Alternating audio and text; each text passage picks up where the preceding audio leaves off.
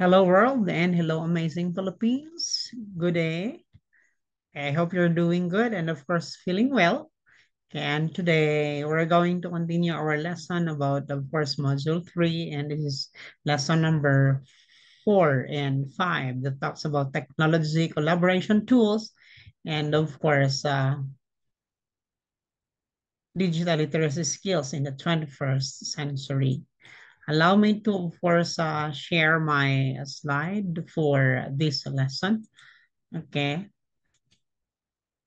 So that's it. And uh, here we go. Okay.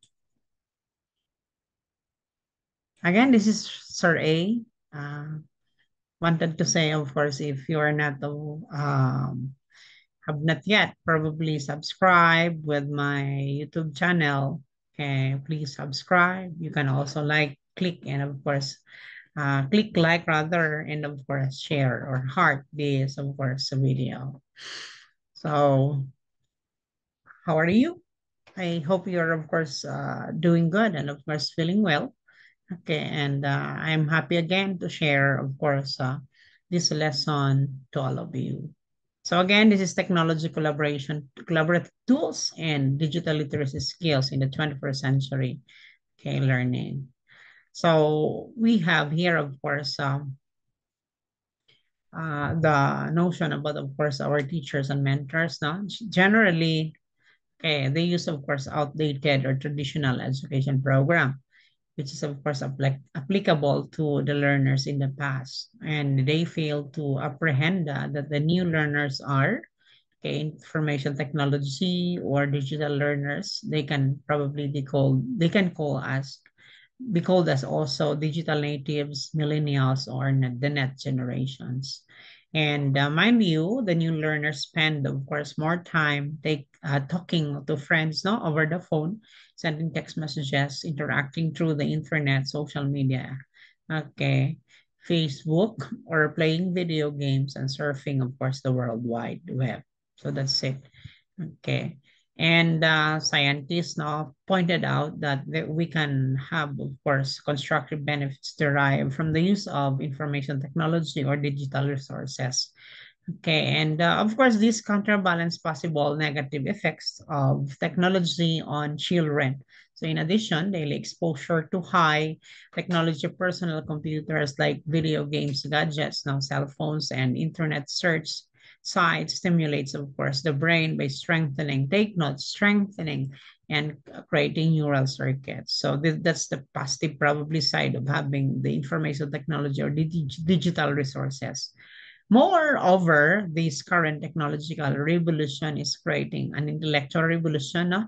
faster and better than ever before. And knowledge is constructed uniquely and, of course, individually okay, in variety of ways and it is constructed through a variety of resource or resources, tools, contexts, and experiences.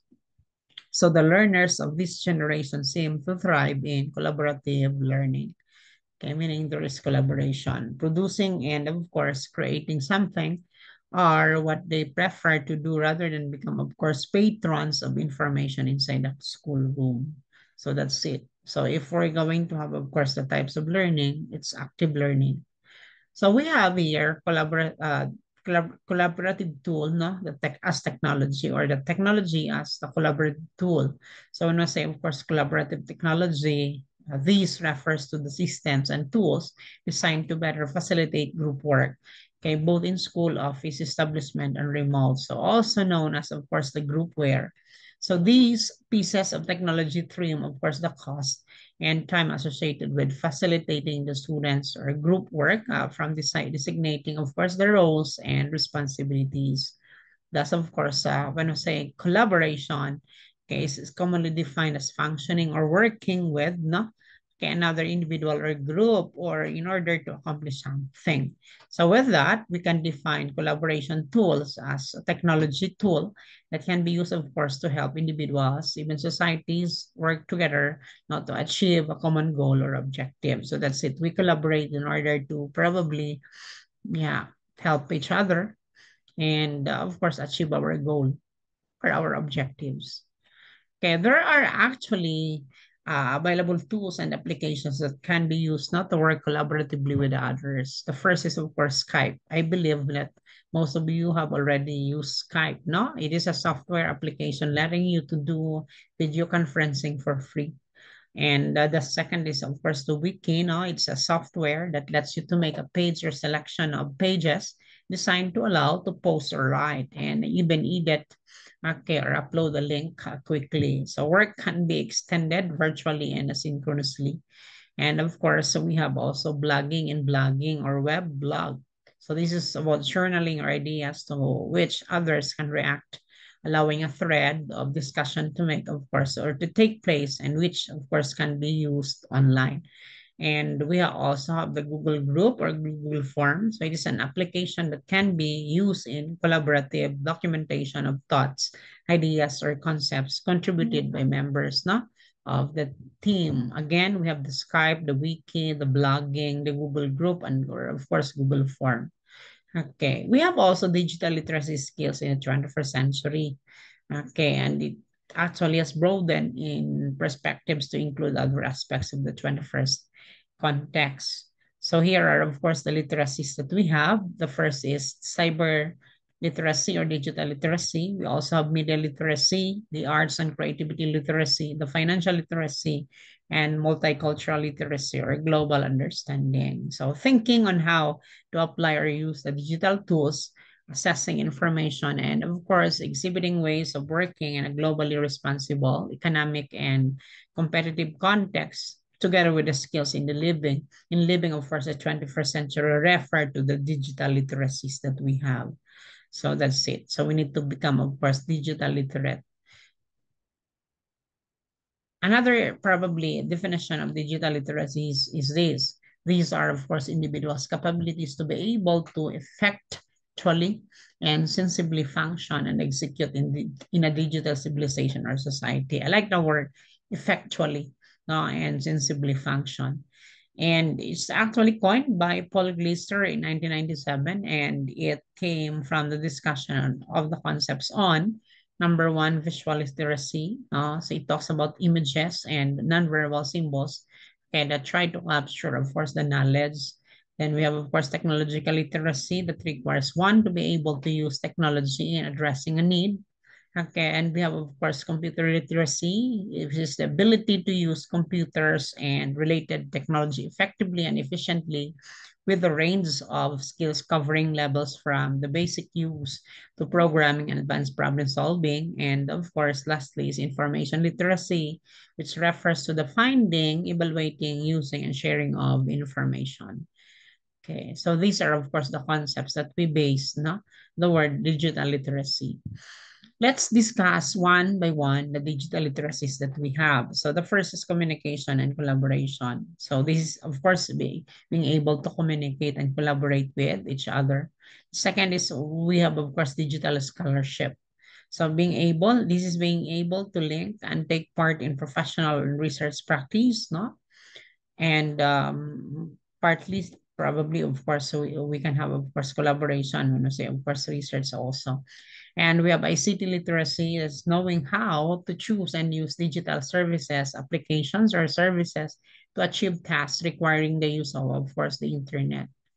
Okay, number four is identity management. So it talks about how we can, of course, uh, uh, manage our identity in the social world.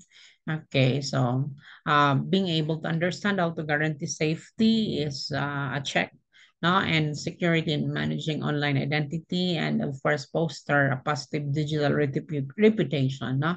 in social media.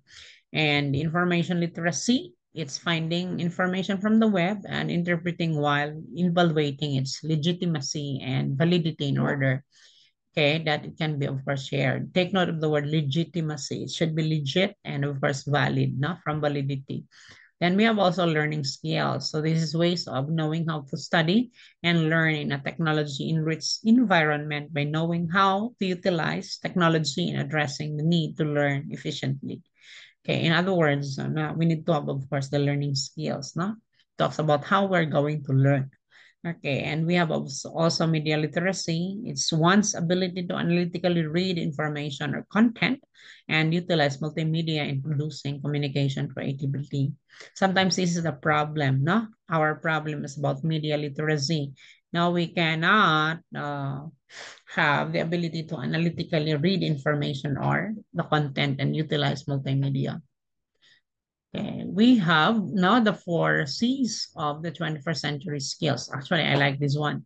So the four C's, of course, consist of critical thinking, creativity, communication, and of course, collaboration. And all these skills are essential for students to do well in school and of course succeed in the workstation. Let's have first the first C, which is critical thinking. So this is learning how to solve problems by of course seeking the truth to be critically, of course, no? Uh, thinker. It is the ability to distinguish, of course, facts from opinions and not just only learn a set of details or numbers, but also discover these for the sake of finding and knowing what you need to know. And the third, the second one is, of course, uh, creativity. So this is thinking out of the box. Actually, I'm always encouraging all of you, know, okay, to be, of course, creative and to take pride in what is uniquely theirs. And take note, creativity encourages learners to think beyond the beliefs of convention or conventions. Okay, so that's it. Don't do not be afraid, no, to make difference, okay, or to be different from others. You need to become creative. The another C is communication, or the other C is communication. Okay, we have, of course, expressing the ideas in the clearest and organized manner. I like that word clear, no? And organized manner. So through varied models like face-to-face, -face, technologically mediated or blended medium, they need to know how to proficiently, of course, and evidently convey ideas and information. The last is, of course, collaboration. That is knowing how to work well with others to achieve a given task or to resolve a problem at hand. So uh, it's very, of course, essential no? that students are given a chance to practice how to relate with others and, of course, made to work in a pair or probably by a team. Okay, but other than, of course, these four C's, we have the addition of citizenship and character.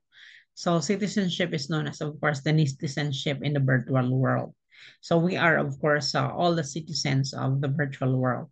So making, of course, the person consider how one performs okay, or behaves accordingly by observing, of course, the norms and rules that are in accordance or harmony with what are sociably practically and of course virtually acceptable. Take note, socially, practically, and virtually accept, acceptable. So as a result, one is projecting, of course, a reputable digital identity, which is his or her character. So take note of that. Okay. So we have also digital literacy skills versus the digital literacy. And of course, uh, the di digital literacy skills are required not in the digital or wide world. So these skills vary from text to image, images to multimedia. And we have eight digital literacy skills, literacy skills needed to become digitally literate, not according to Link in 2017. So we need to need we need to have a know-how about cloud software, coding, collaboration, information evaluation, personal archiving, no? screencasting, the use of social media, and of course, word processing software for that matter. So let's discuss one by one. When we say cloud software, so this is the uh, wherein the cloud is of course used to store everything from photos to research projects to term papers and even music. Okay, then we have of course coding. It is a universal language, no? Basic understanding of HTML and so on. Then we have, of course, collaboration, which is the use of Google Docs, among others. And we have, of course, information evaluation now. So we need to critically think now to remove, of course, fake news in, okay, is crucial in the 21st century skills. Okay, then we have, of course, the personal archiving. No? Learners should uh, be taught the concepts of metadata, Okay, what about tagging, no? You do tags, right? Keywords and categories. Then we have screencasting. Okay, a screencast is a video recording using, of course, computer screen and usually includes an audio taking a picture on the screen or your computer. And this is called print screen. And we have also the use of social media, which you already have known. And we have, of course, the word processing software for that matter. Okay, here are examples of how digital skills or proficiency support digital literacy. So here you can see, of course, some tasks that you can do now in digital skills and even, of course, digital literacy. Okay, let's just have an example. Number four, researching from the World Wide Web. That is a digital skill. But when we say digital literacy, so we need to evaluate the information online, probably by asking, is the site legitimate? No? Is the author an expert? Or is the information current or dated? Or is the idea neutral or biased? Okay. And uh, of course, here are our references uh, for this lesson. I hope you learned something okay, for today. And um, you have, of course, additional information, okay, for you to have. So again, this is Sir A wanted to say thank you so much. And of course, uh, um, take good care or keep safe. Okay. Again, if you haven't, of course, subscribed in my YouTube, kindly subscribe, click like, or of course, heart and do share. Okay, God bless everybody. Bye-bye. Thank you.